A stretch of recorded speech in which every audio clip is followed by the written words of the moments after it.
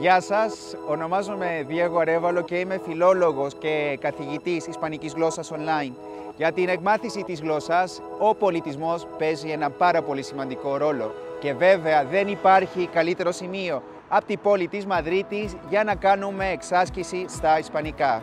Θες να κάνουμε μία βόλτα σε αυτή την όμορφη πόλη; Πάμε μαζί.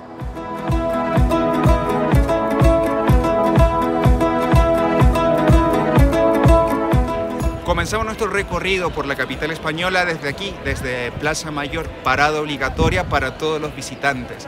La Plaza Mayor de Madrid es la excusa perfecta para venir a darse un paseo, tomarse fotos y disfrutar de un rico café con leche. En el centro encontramos la estatua del rey don Felipe II, quien ordenó la construcción de la Plaza Mayor de Madrid, fortificada, y con galerías que hasta el día de hoy dan espacio para el comercio y para los restaurantes.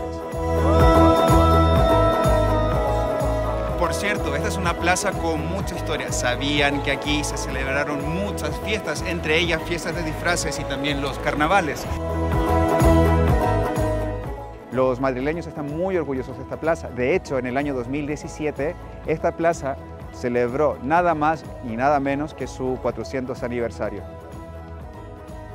Ya conocemos parte de la historia de la Plaza Mayor y bueno, lo que no podía faltar un delicioso bocadillo de calamares.